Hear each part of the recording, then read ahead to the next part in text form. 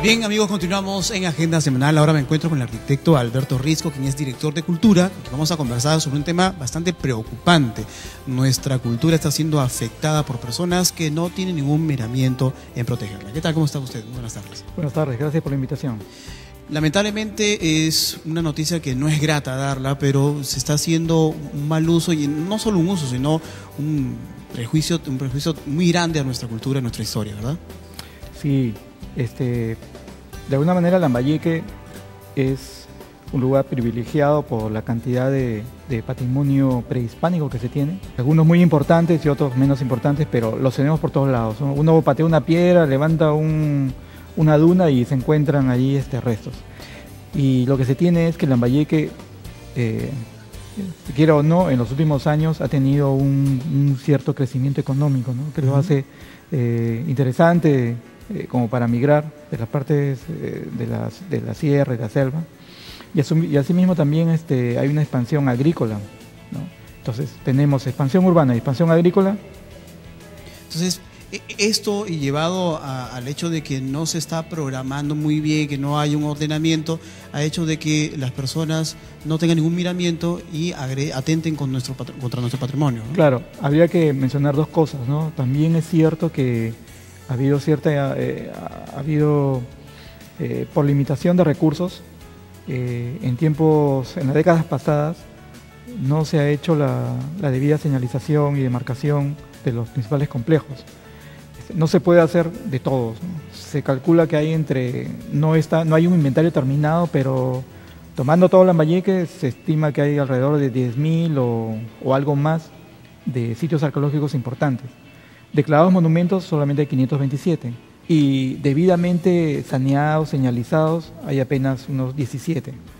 Pero al margen de que de repente no se pueda dar cobertura por el hecho mismo de las extensiones que son, por el hecho mismo de este tema presupuestal, me imagino que, también afecta un poco a ello, está un poco también la cuestión cívica, ¿no? De, de que las personas eh, no entiendan o no quieran entender, porque me imagino que la mayoría de la escuela o conoce o por sentido común sabe perfectamente que eh, un resto arqueológico o una zona que ha sido parte de nuestra historia merece todo el respeto, ¿no? Y es un poco también de, una cuestión de actitud.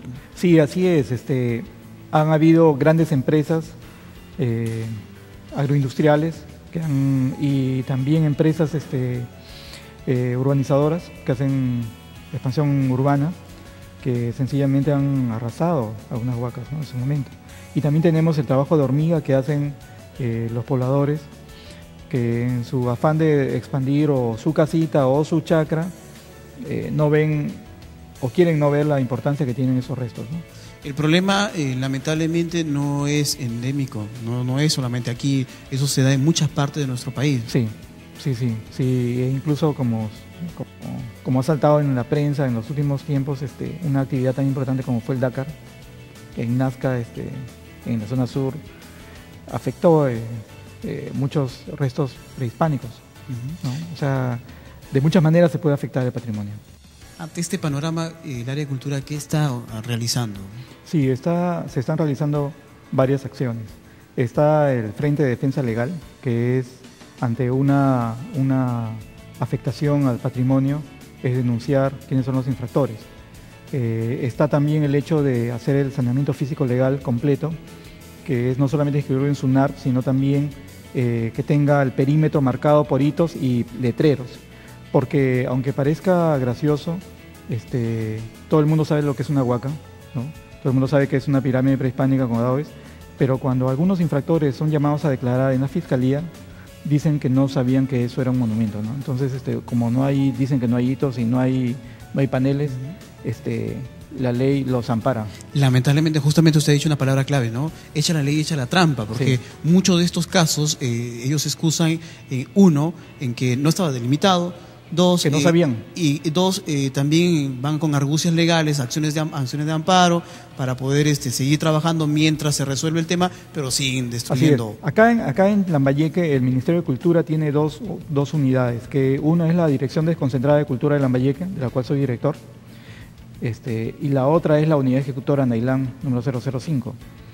La unidad ejecutora Nailán es la que ha sido equipada con una tecnología de punta realmente envidiable, que son este, drones, que son aparatos, que, helicópteros pequeños que vuelan y hacen una filmación y fotografías que permiten hacer mapas bastante rápidos. Este, tiene georradares, está implementada para hacer justamente este saneamiento y lo está haciendo. En, todo, en toda la época que, ha tenido este, el INC de existencia, se han saneado algo así como siete monumentos. Y en, en poco menos de dos años, la unidad ejecutora ha logrado este, sanear 10 más. ¿no? O sea, tenemos 30 años, 7 monumentos, tenemos 2 años, 10, 10 monumentos más. O sea, lo cual nos da este, una visión positiva de que, de que este, esta señalización va a ir avanzando, va a ir avanzando. Este, y lo otro es también que estamos desde la DDC eh, coordinando eh, algunas actividades de sensibilización para que sobre todo la gente joven coja cariño a lo que es lo suyo, la identidad.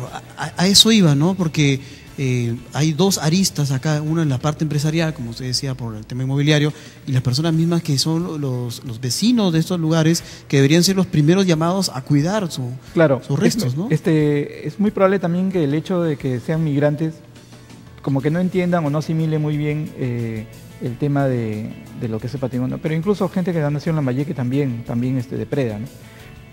pensamos que trabajar con los niños es una, buena idea. Para eso, por ejemplo, en días pasados, acá también en este foro, en, otro programa, nos han invitado para dar a conocer el lanzamiento del concurso de la tercera, eh, tercer concurso de la canción escolar La Vallecana, eh, con el fin de, de acercar más a los niños en edad, a nivel primario, a nivel secundario, para que participen. No es la única actividad de sensibilización que vamos a hacer, vamos a lanzar más, ¿no? para acercar así a, la población a lo que es su patrimonio. Arquitecto, cuando hablamos de esta afectación, debemos también sacar en cuenta de que hay dos ámbitos, ¿no? el cuantitativo y el cualitativo. ¿Cómo ustedes ven esta afectación? ¿Cuánto es que afecta eh, esta depredación? A veces, a veces es mucho, mucho escándalo, y no hay nada. Y hay veces que sí es lamentable el saqueo y a veces no sale a la, prensa, ¿no? Y es invaluable lo que se, lo que, lo que se, lo que se pierde. Por ejemplo, hace poco ha habido una afectación.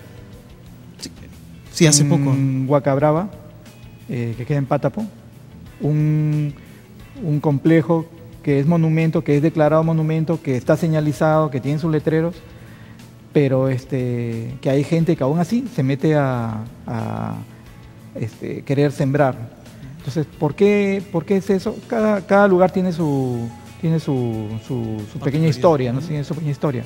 Pero lo, lo, el asunto es de que en sí eh, se, ha metido, se han metido a arar sobre una zona que ha sido sembrío de caña, que la empresa agrícola este, ha cedido a la, al Ministerio de Cultura para que, para que sea parte del complejo pero ha sido cultivo de caña pues desde tiempos inmemoriales.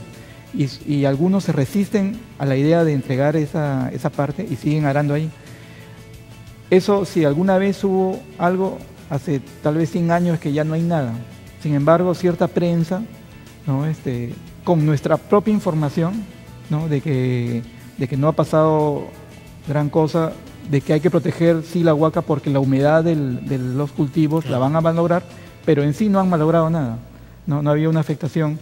Este, pero sin embargo, este, han tergiversan la noticia y hacen un escándalo sobre algo que en realidad este, no ha ocurrido destrucción alguna. Qué bueno, qué bueno que a pesar de todo el problema no haya sido la afectación tan grande en todo caso. En otros casos, lamentablemente, sí han habido este, pérdidas importantes. El caso del Chorro, por ejemplo, este, es un complejo que ya tiene más de 30 o 40 años que está siendo lentamente invadido. ¿no? Y esperamos este, articular acciones de que lo que no se ha hecho antes ahora sí se puede hacer para protegerlo. Pero lo cierto es que ahorita está invadido. Muy bien, arquitecto. Esperamos bueno que se puedan articular tanto la autoridad como nosotros mismos, como ciudadanos, las empresas también apoyar para, para poder solventar estos trabajos que se están haciendo y sobre todo cuidar lo nuestro, que no solamente es de ahora, sino de mucho tiempo y que representa nuestra historia. Bien, hacemos una pausa comercial. No se muevan, regresamos con más aquí en Agenda Semanal.